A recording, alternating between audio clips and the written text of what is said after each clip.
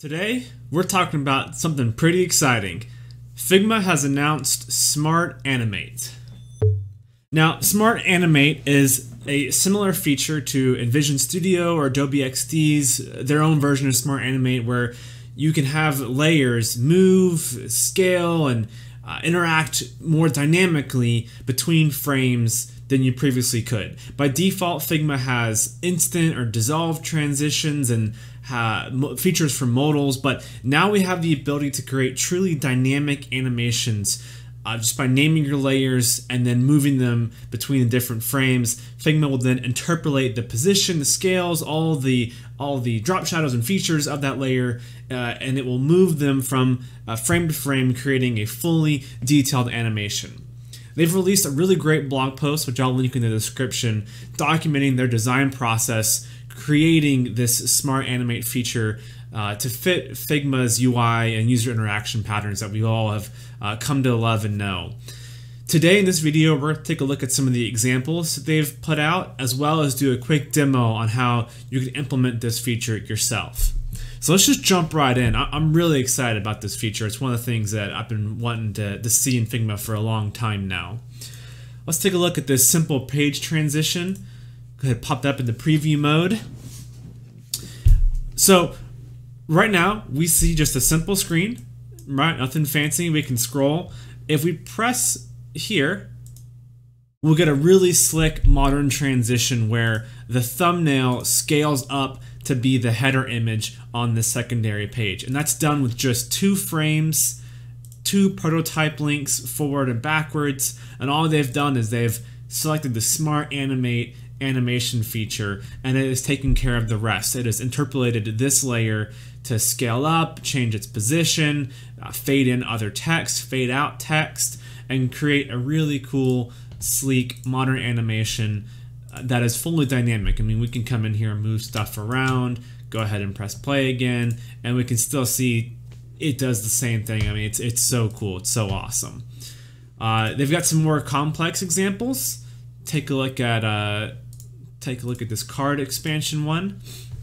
You're not limited to, to just moving layers around. You can do other interactions as well. So you see here, we're changing the layer style. We're uh, masking text and moving other layers down.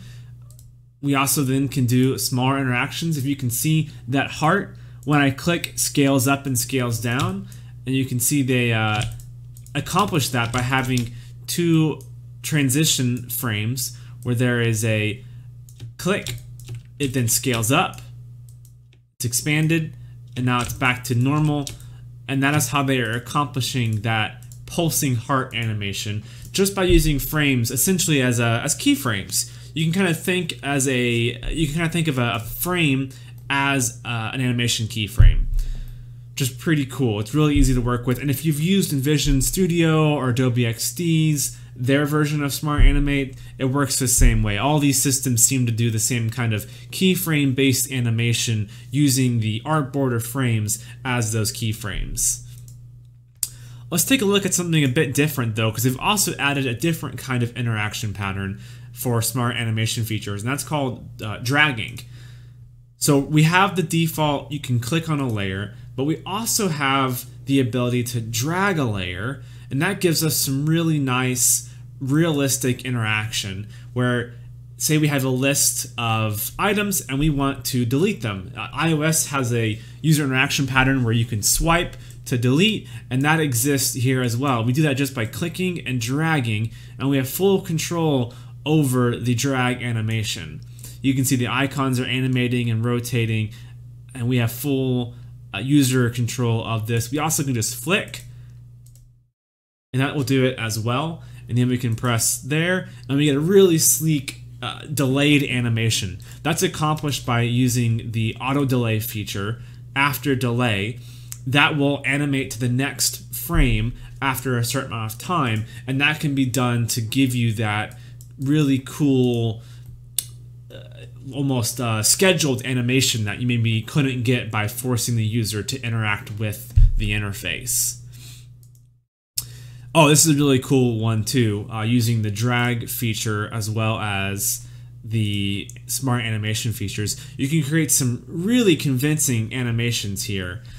We can we can drag down these cards, having full control over what's happening, and then we also can change pages as well.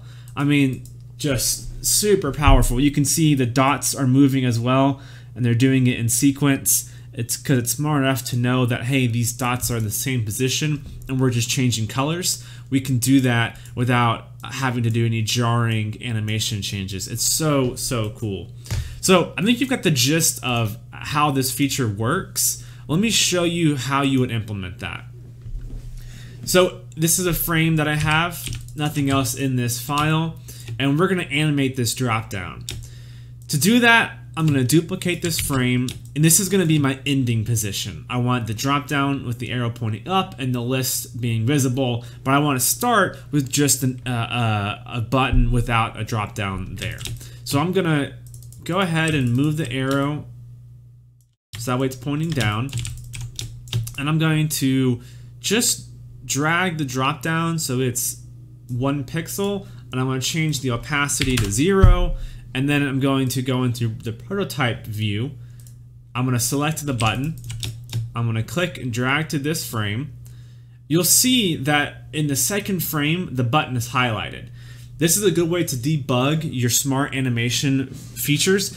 When you have a layer selected, uh, you can see that layer in other frames. This is helpful where if you have a layer that doesn't have any opacity, it's still outlined so you can see where that object will be in the frame in which you're animating to.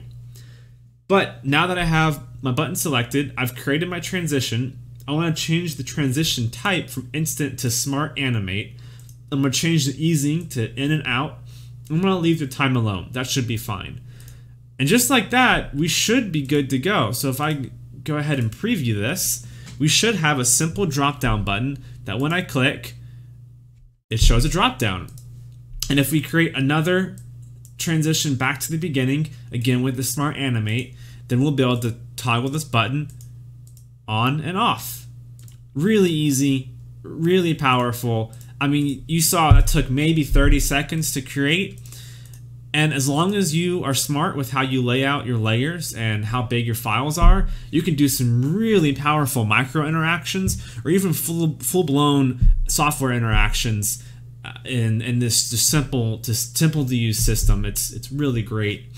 Very excited to see this in Figma. I think it's going to really create uh, much more convincing uh, prototypes as well as remove the need to pull out your animation into After Effects just to show some micro inter micro uh, interaction patterns. Like for this dropdown, for example, I used to have to take this out, maybe bring it to InVision Studio, maybe use After Effects just to show, hey, I want the drop-down arrow to spin, I want the, the menu to scale. But now we can create these and record them in After Effects, or record them in Figma without having to go to any other external tool. And that's going to be super great. Figma also announced recently that they're working on their smart layout feature, and this will be an amazing addition if it works uh, with Smart Animate because it allows you to have layers reference their responsive position to other layers. So right now we have the ability to say, hey, I want this to be anchored to the top and left of this frame, but we'll be able to do that for other objects. So if I had a list of, of squares and I deleted this square here, it would automatically move these squares back with the correct padding. If we had that feature with Smart Animate, oh man, that's gonna be that's gonna be so powerful, and I can't wait to see how they integrate those two systems.